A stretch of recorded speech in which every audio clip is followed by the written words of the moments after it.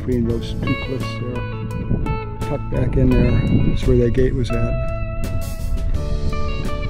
And this is really a nice pasture area.